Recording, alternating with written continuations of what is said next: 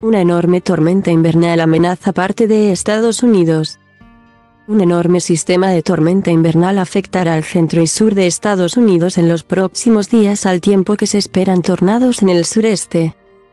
Según informa este martes el Servicio Meteorológico Nacional, NWS, es posible que haya fuertes nevadas generalizadas y tormentas con nieve y viento desde el centro norte de las planicies hasta el medio oeste. Añade la agencia. En el sector cálido de la tormenta es posible que haya intensos fenómenos meteorológicos con todos los daños posibles en el sur de las planicies y desde el valle del Mississippi hasta Florida. Indica el NWS.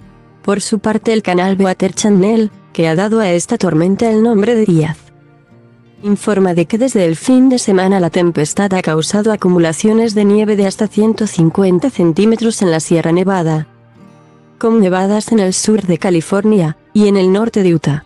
Los meteorólogos han dado avisos de nevadas con vientos fuertes en partes de cinco estados desde el nordeste de Colorado al oeste de Nebraska, el este de Wyoming, el oeste de Dakota del Sur y el sudeste de Montana.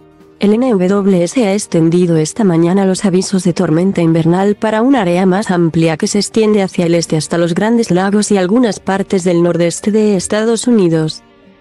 El meteorólogo Todd Glassen, de la estación WRTV de televisión en Indianápolis, ha pronosticado para esta noche la llegada de la tormenta a esa región de Indiana con fuertes lluvias para el miércoles y jueves.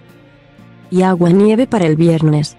Detroit, en Illinois, amaneció hoy con temperaturas por debajo de 0 grados Celsius y vientos moderados muy fríos que despejaron un poco las nubes desde el lago En Milwaukee, Wisconsin, el meteorólogo Robaswell, de la estación Fox 6 de televisión local, ha pronosticado para hoy una jornada nublada y con temperaturas moderadas mientras se aproxima lentamente la tormenta desde Colorado. El viento fuerte desde el sudeste tendrá rachas de casi 65 km por hora y mañana. Jueves, llegarán las temperaturas más bajas, ha añadido.